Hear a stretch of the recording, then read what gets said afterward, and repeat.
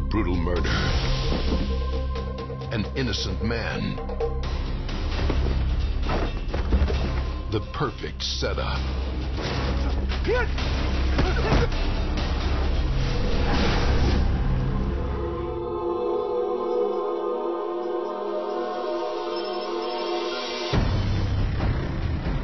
Now, he's on the run, looking for answers. And clearing his name is a matter of life and death.